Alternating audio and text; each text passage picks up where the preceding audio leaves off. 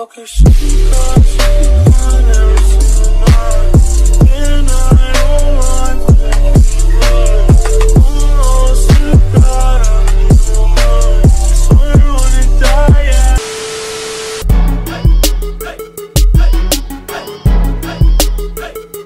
Yo mga idol, ngayon nga ay pag-uusapan natin kung paano nga ba namatay yung mga miyembro ng grupong Akatsuki. Pero bago yon, kung bago ka pa lang sa ating channel ay mag-subscribe ka na. Dahil sobrang laking tulong na nga yan para sa pag-unlad ng ating channel. At i-click mo na din yung notification bell para lagi kang updated sa mga bago nating uploads. So, game. So, ang grupong Akatsuki nga ay binubuo ng mga missing nin mula sa iba't ibang bayan na kung saan sila nga yung mga ninja na nagtraidor or iniwan yung kani-kanilang tungkulin sa bayan nila. Kumbaga, yung mga missing nin na to, sila yung mga wanted na nakalista sa bingo book ng bawat bayan. At once na matsempuan nga sila, eh kailangan nga silang patayin dahil tinuturing nga din silang mga banta dahil sa kanilang lakas at dahil na din sa mga bagay na kaya nilang gawin. Siguro napapaisip din kayo kung paano nga ba sila namatay. Despite na alam naman natin kung gaano kalalakas ang mga miyembro ng grupong ito. Bali iisa-isahin nga natin yung dahilan ng kanilang pagkamatay. So ang unang namatay sa grupong to ay itong si Sasori. Namatay nga siya sa laban niya kay Elder Chiyo at kay Sakura. Matapos masaksak ni Elder Chiyo yung pinakapuso nitong si Sasori. At yung mga puppet pa nga na kamukha ng mga magulang nitong si Sasori na siya mismo ang gumawa ang nakapatay sa kanya. So despite nga sa 2 on 1 na laban at kabisado pa ni Elder Chiyo yung galaw ni Sasori ay binigyan pa din tayo ni Sasori ng magandang laban. At nagawa niya pang ang pahirapan itong sina Sakura at Elder Chiyo. So next ay itong si Hidan. Bali matapos ngang patayin ni Hidan si Asuma sa harap mismo ng mga estudyante niya ay talagang hinanting nga siya at pinaghandaan ng Team 10. And dahil nga sa napakatalinong diskarte ni Shikamaru ay nagawa niyang mapatay si Hidan kahit immortal nga ito. So ang brutal ng ginawang pagpatay sa kanya ni Shikamaru.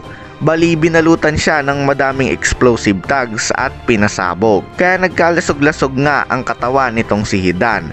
And dahil nga immortal itong si Dan ay hindi siya basta-basta mamamatay sa ganong paraan. Kaya inilibing siya ni Shikamaru ng buhay. So dahil nga lasog-lasog ang katawan niya habang nakalibing ng buhay, eh hindi niya na nga magagawa pang makalabas sa hukay. Kaya ang ikinamatay ni Hidan ay yung malnutrition. So ang next ngang namatay ay itong si Kakuzu. Bali itong ang pagkamatay ni Kakuzu ang pinaka-controversial para sa akin. Dahil hanggang sa ngayon nga ay madami pa din ang nagtatalo kung sino ba talaga ang nakapatay sa kanya. Kaya lilinawin na natin dito. Para nga mapatay itong si Kakuzu ay kailangan mo nga maubos yung limang puso niya. Kumbaga, kailangan mo siyang patayin ng limang beses. So sa una pa lang ng laban, eh napatay na nga ni Kakashi yung isang puso niya gamit yung lightning cutter. And dahil sa diskarte ni Shikamaru ay napatay naman ni Hidan nang hindi sinasadya yung isa pa niyang puso. While napatay naman ng Rasen Shuriken ni Naruto ng sabay yung dalawang puso. Bali meron na lang siyang isa, ba? Bali habang nakadapa pa nga itong si Kakuzu matapos kainin yung Rasen Shuriken ni Naruto ay tinuluyan na nga ni Kakashi yung last na puso. Gamit ulit yung lightning cutter niya. Basically eh si Kakashi ang tumapos kay Kakuzu. Next ay itong si Deidara. So namatay naman siya sa laban niya kay Sasuke. Bali nung nalaman niya nga na wala siyang chance na manalo kay Itachi ay ang tinarget niya na lang ay yung nakababatang kapatid nito na si Sasuke. Bali napakaangas nga ng laban ng dalawang to. And during nga sa laban nila ni Sasuke ay na-realize niya na hindi niya din kayang matalo itong si Sasuke. Kaya ang ginawa niya ay ginamit niya yung pinakamalakas niyang technique na kung tawagin ay C0 na kung saan ginawa niya ng bomba ang sarili niya at gumawa ng malaking pagsabog. So akala niya eh madadami si Sasuke sa pagsabog na ginawa niya at ang ending eh nakaligtas nga itong si Sasuke. Kumbaga nag-suicide lang itong si Deidara. Next ay ito namang si Itachi. Gaya ni Deidara namatay din itong si Itachi sa laban niya kay Sasuke. So marami nga ang nagsasabi na hindi daw si Sasuke ang nakapatay kay Itachi. Bali yung illness daw ang dahilan kung ba't namatay siya. Pero para sa akin eh nakatulong lang yung illness ni Itachi kung ba't natalo siya ni Sasuke. So malaki ang tinamo niyang damage matapos saluhin yung Kirin na isa sa pinakamalakas na jutsu nitong si Sasuke at dahil na din sa Chakra Drain matapos gamitin yung Susanoo para tanggalin nga yung course mark ni Orochimaru sa pinakamamahal niyang kapatid na si Sasuke. So after nga ni Itachi ay ito na ngang si Pain ang sumunod na namatay. Anyway, nasa 6 spots of Pain nga din yung pinakagumawa ng Akatsuki. At ito nga ay si Yaiko. Balibangkay na lang to na kinokontrol gamit yung 6 pot. Maaga nga siyang namatay para iligtas noon si Conan na naging dahilan kaya naging masama itong si Nagato na siya namang kumokontrol sa anim na pain. So namatay naman si Nagato matapos marinig yung Tokno Jutsu ni Naruto. Bali sinacrifice ni Nagato yung sarili niya para muling buhayin yung mga napatay niya sa bayan ng Konoha. Dahil di ba nga umatake sila dito para hulihin yung Nine Tails sa loob ni Naruto. Pero hindi nga sila nagtagumpay dahil mas lumakas na nga si Naruto nung time na yan. Next ay itong si Conan. Bali after ngang mamatay ni Nagato ay nagdesisyon na nga itong si Conan na umalis na sa grupong Akatsuki. Pero nung malaman nga ni Obito na nagtraidor sila ni Nagato ay hinanting niya nga itong si Conan para na din hanapin sa kanya yung bangkay ni Nagato at para na din makuha yung Rinnegan. So muntik pang bumaliktad yung resulta ng laban na to.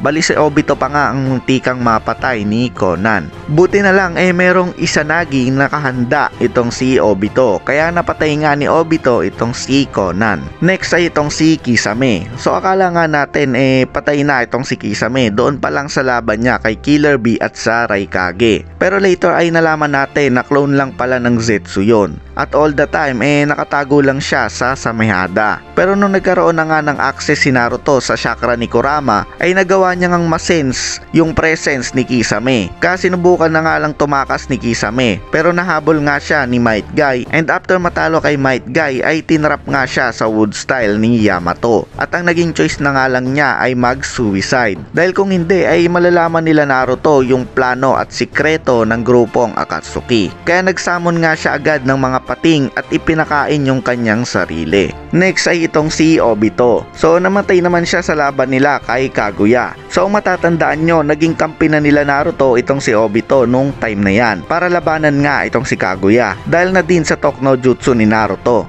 Bali ang ikinapatay niya nga ay yung killing Ashbone ni Kaguya matapos niyang saluhin ito para iligtas si Naruto at Kakashi. And last ay itong Zetsu. So meron niyang dalawang Zetsu, yung white at black Zetsu. Bali namatay nga yung white Zetsu sa kamay ni Sasuke. So ginawa nga siyang target practice ni Sasuke para matesting yung eternal Mangekyo Sharingan niya. So pinana siya ni Sasuke ng Susanoo Arrow na may kasamang Amaterasu while yung Black Zetsu naman ay isinil kasama ni Kaguya. So matatandaan nyo, siya yung ibinato ni Naruto habang isinisil si Kaguya doon sa dimension niya. So yun lang, and dyan na nga nagtatapos ang topic natin kung paano nga ba namatay ang mga miyembro ng Akatsuki. So kung nagustuhan mo itong ginawa kong video ay bigyan mo na to ng isang bagsak na like. At syempre mag-subscribe ka na din para lagi kang updated sa mga bago nating upload. So salamat mga idol.